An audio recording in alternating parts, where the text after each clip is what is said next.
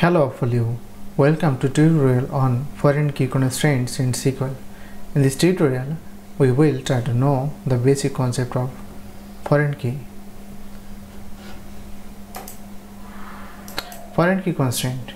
A foreign key is a key used to link two tables together. A foreign key is a field or collection of tables in one table that refers to the foreign key in another table. SQL syntax. Table column name then data type then foreign key then references then reference table name then foreign key or reference table column name.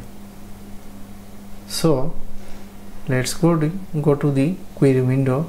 How do we uh, give an example for foreign key constraints in SQL we have one table customer info here. So if I uh, select the columns for customer info select start from. Yes we have customer id first name last name and age. So I just want to add another table named as cust customer order. So create table customer order dbo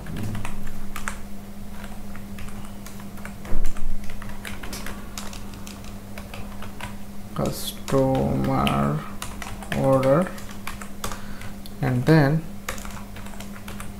I just want to add some column.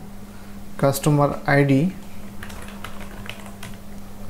customer order ID type integer not null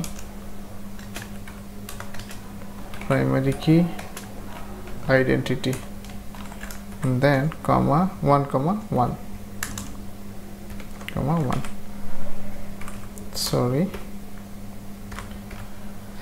And then I just want to add another column name order num order number. Or ORD order. Be order number. Varchar. 50 not null. And then I just want to uh, reference. I just want to add another uh, column for customer ID customer ID here. Type is integer int integer. So uh, integer and not null. So the this customer id i just want to add a reference or foreign key table uh, for customer info. So we just need to write foreign key references dbo dot customer info.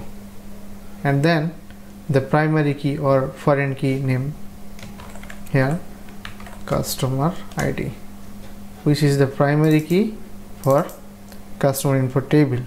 And this customer id is referenced here in customer order table. So in this way we can use foreign key reference for customer info table. So if I execute this yes command successfully completed. So if I refresh uh, here customer order yes we have uh, three columns here. Customer order ID which is primary key customer number uh, sorry order number and customer ID here the FK FK means foreign key. So in this way we can use a foreign key or foreign key reference in our table. So thank you for watching this video. Keep watching the next video. Thanks again